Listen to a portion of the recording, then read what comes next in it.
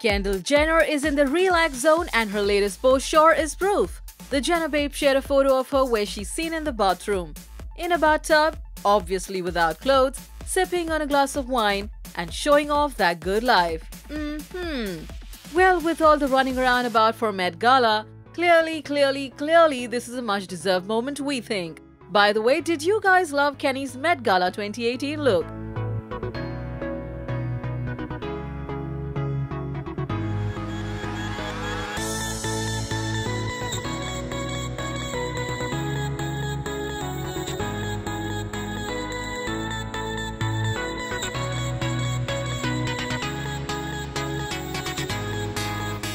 Cause we totally did. Yes or no, you can comment below and don't forget to hit like and share on this video. For more on Kenny J, stay tuned to Hollywood Now, your daily Hollywood buzz.